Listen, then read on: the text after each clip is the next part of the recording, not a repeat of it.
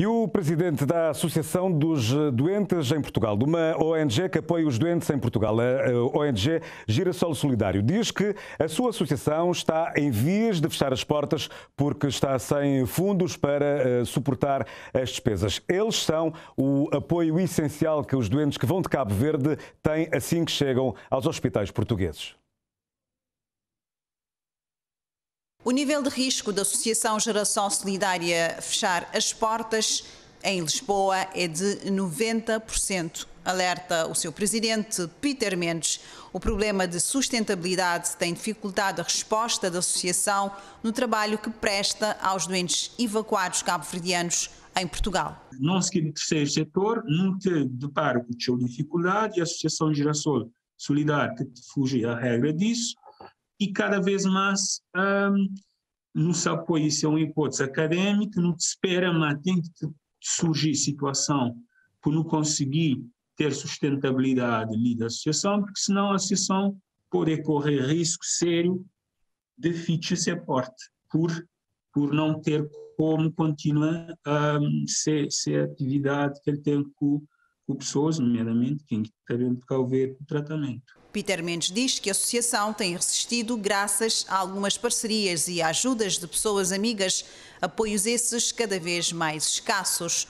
O presidente da Geração Solidária alerta ainda ao governo de Cabo Verde sobre o impacto que o desaparecimento deste projeto poderá ter na vida dos doentes cabo-verdianos evacuados para tratamento médico em Portugal. O nível de risco é 90%. Não quer antecipa que isso aconteça, porque a situação foi sempre difícil. Foi sempre difícil, mas sempre foi, sempre no tentava de fazer e sempre naqueles intervalos ali não tive sorte de, de hoje a nossa candidatura uh, aprovado, não tive verbas, mas depois não te continua a voltar com a mesma situação de dificuldade porque cá tem um por onde pegar. Peter Mendes diz que neste momento só o Estado de Cabo Verde poderá impedir a geração solidária de desaparecer. Desde que a associação um, foi, foi constituído, até hoje, até a presente data, nunca não pedi nenhum tipo de apoio financeiro a Cabo Verde.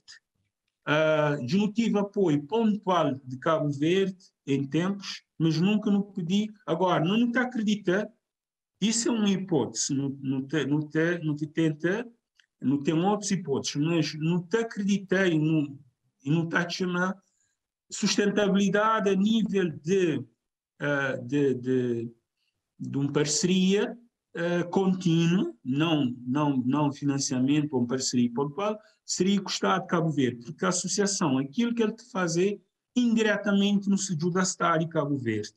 Uh, indiretamente não te conseguir complementar aquilo que uh, se calhar Estado, Calver, que fazem. Para além da assistência aos doentes evacuados, a Geração Solidária presta outros apoios na integração dos imigrantes cabo-verdianos em Portugal. As evacuações médicas consomem uma boa parte do orçamento do Estado de Cabo Verde. O relatório do INPS 2021 mostra que o custo com as evacuações médicas para Portugal suportadas pela Segurança Social cabo-verdiana caiu para 4,5 milhões de euros, perto de meio milhão de contos. O custo global com o transporte e a estadia desses doentes em evacuações médicas entre ilhas de Cabo Verde para Portugal ascendeu a 789 milhões de escudos. O INPS gastou de janeiro a dezembro de 2021 cerca de 495 mil contos em evacuações. Em 2020, essa despesa foi muito superior, 511 mil contos.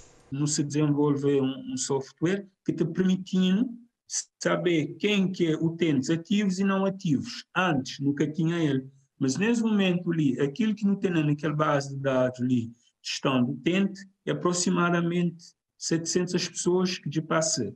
E de que 700? Nesse momento se me referimos, não se acompanha ativamente 200 208, em que 198 é doente e acompanhante ali no Portugal. Nós o que é que não te fazer, não tem uma proposta já elaborada em que, ou seja, não que sabe pedir Estado e calver dinheiro. Não se chega na cidade e calver, seja nesse momento não sabe qualquer ministério que tutela a evacuação, se é de saúde, se é negócios estrangeiros e finanças têm que saber.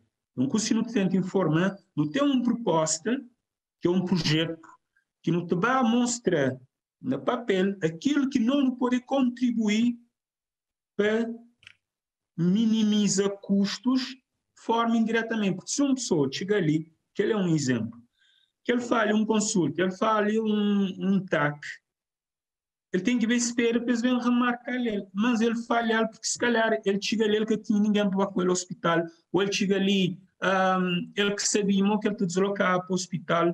Mas se nós, formalmente, o Estado de Cabo Verde está diretamente, ou representante da Embaixada de Cabo Verde ali, no definir uh, um, uma parceria em que a associação está assumindo onde é que ele te conseguir uh, responder, onde é que ele, te, que ele tem capacidade de acompanhamento, que é acompanhamento social, acho que só se ele em tratamento tem a ganhar Estado de Cabo Verde poder reduzir custos. Dentre as especialidades evacuadas destacam-se a oncologia e a cardiologia.